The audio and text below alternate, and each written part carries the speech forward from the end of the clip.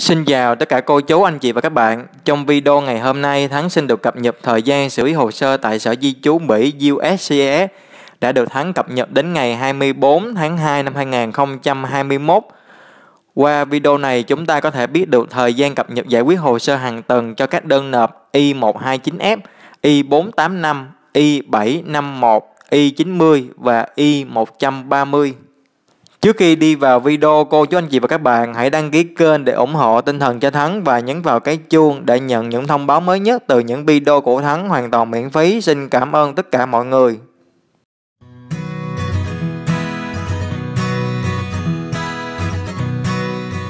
Ký hiệu các mẫu đơn Y129F, đơn bảo lãnh hôn phu, hôn thê, Y130, đơn bảo lãnh thân nhân, Y485 đơn xin đăng ký thường chủ nhân hoặc thay đổi tình trạng. Y751 đơn xin đổi thẻ xanh từ 2 năm thành 10 năm. Y90 đơn xin thay thẻ thường chủ nhân. Ký hiệu của các trung tâm dịch vụ WAC Trung tâm Dịch vụ California LIN Trung tâm Dịch vụ Nebraska Y dài SC Trung tâm Dịch vụ Photomat S LC Trung tâm Dịch vụ Texas, EAC Trung tâm Dịch vụ Vermont, IOE nếu cô chú anh chị và các bạn nộp qua mạng Internet có thể là trung tâm Texas, trung tâm California, trung tâm Nebraska hay trung tâm Vermont xem cuối thư I797C sẽ có tên trung tâm xử lý hồ sơ của mình. Ví dụ hồ sơ có số receipt number Y dài SC có nghĩa hồ sơ này sẽ được xử lý tại trung tâm photomat của Sở Di trú. Trong hồ sơ chúng ta cần chú ý hai ngày, receipt day ngày biên nhận và receipt number, số biên nhận của hồ sơ. Sau đây, Thắng xin được cập nhật thời gian xử lý hồ sơ. Trong bản này, những ngày được Thắng in đậm màu đỏ có nghĩa nếu hồ sơ của cô chú anh chị và các bạn đã qua, ngày này vẫn chưa được giải quyết, hãy gọi ngay cho Sở Di trú Mẫu đơn Y129F tại trung tâm Cali diện K1, K2, K3, K4 khoảng thời gian chờ đợi đến ngày phỏng vấn khoảng 5,5 đến 7,5 tháng ngày cần gọi ngày 26 tháng 7 năm 2020 tại trung tâm Nebraska diện K3, K4 từ 8,5 đến 11 tháng ngày cần gọi ngày 4 tháng 4 năm 2020 tại trung tâm Photomat diện K3, K4 từ 6,5 đến 8,5 tháng, ngày cần gọi ngày 20 tháng 6 năm 2020 tại trung tâm tết sát diện K3, K4 từ 14 đến 18,5 tháng, ngày cần gọi ngày 25 tháng 8 năm 2019 tại trung tâm Vermont diện K1, K2 từ 22,5 đến 29 tháng, ngày cần gọi ngày 5 tháng 10 năm 2018.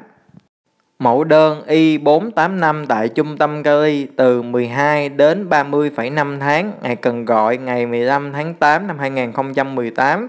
Tại trung tâm Nebraska từ 5,5 đến 11 tháng, ngày cần gọi ngày 27 tháng 3 năm 2020. Tại trung tâm Texas từ 10,5 đến 35 tháng, ngày cần gọi ngày 4 tháng 4 năm 2018. Tại trung tâm Vermont từ 21,5 đến 24,5 tháng, Ngày cần gọi ngày 14 tháng 2 năm 2019. Mẫu đơn Y751 tại trung tâm Cali từ 14,5 đến 22 tháng. Ngày cần gọi ngày 2 tháng 5 năm 2019. Tại trung tâm Nebraska từ 13 đến 27,5 tháng, ngày cần gọi ngày 17 tháng 11 năm 2018. Tại trung tâm Photomat từ 18 đến 21,5 tháng, ngày cần gọi ngày 20 tháng 5 năm 2019 tại trung tâm Texas từ 7,5 đến 20 tháng, ngày cần gọi ngày 28 tháng 6 năm 2019. Tại trung tâm Vermont từ 8 đến 15 tháng, ngày cần gọi ngày mùng 3 tháng 12 năm 2019. Mẫu đơn Y90 tại trung tâm Photomat gia hạn 10 năm từ 5,5 đến 11 tháng, ngày cần gọi ngày 29 tháng 3 năm 2020 phát hành lần đầu hoặc thay thế từ 7,5 đến 18 tháng, ngày cần gọi ngày 31 tháng 8 năm 2019. Ký hiệu của các diện hồ sơ, diện F1 con độc thân trên 21 tuổi của công dân Mỹ, diện F2A vợ chồng hoặc con nhỏ dưới 21 tuổi của thường chủ nhân, Diện F2B con độc thân trên 21 tuổi của thường chủ nhân. Diện F3 con đã có gia đình của công dân Mỹ. Diện F4 anh chị em của công dân Mỹ. Sau đây thời gian giải quyết hồ sơ cho mẫu đơn Y130. Trong bảng này, những ngày được tháng in đậm màu đỏ có nghĩa nếu hồ sơ của cô chú anh chị và các bạn đã qua những ngày này vẫn chưa được giải quyết hãy gọi ngay cho Sở Di trú Mỹ. Đầu tiên, diện F1 tại trung tâm Cali thời gian trung bình hiện nay chờ đến ngày phỏng vấn khoảng 50 đến 65 tháng, ngày cần gọi ngày 5 tháng 10 năm 2015. Tại trung tâm Nemeca từ 6,5 đến 8,5 tháng, ngày cần gọi ngày 16 tháng 6 năm 2020. Tại trung tâm Photomat từ 12 đến 16 tháng, ngày cần gọi ngày 10 tháng 11 năm 2019. Tại trung tâm Texas từ 8,5 đến 11 tháng, ngày cần gọi ngày 28 tháng 3 năm 2020. Tại trung tâm Vermont từ 43,5 đến 56,5 tháng, ngày cần gọi ngày 20 tháng 6 năm 2016. Tiếp theo, diện F2A tại trung tâm Cali từ 18,5 đến 24 tháng, ngày cần gọi ngày mùng 5 tháng 3 năm 2019. Tại trung tâm Nebraska từ 12 đến 15,5 tháng, ngày cần gọi ngày 12 tháng 11 năm 2019. Tại trung tâm Photomat từ 12 đến 16 tháng, ngày cần gọi ngày 11 tháng 11 năm 2019. Tại trung tâm Texas từ 1 tuần đến 7 tháng, ngày cần gọi ngày 29 tháng 7 năm 2020. Tại trung tâm Vermont từ 14 đến 18 tháng, ngày cần gọi ngày mùng 7 tháng 9 năm 2019. Diện F2B tại trung tâm Cali từ 48,5 đến 63 tháng, ngày cần gọi ngày 30 tháng 11 năm 2015.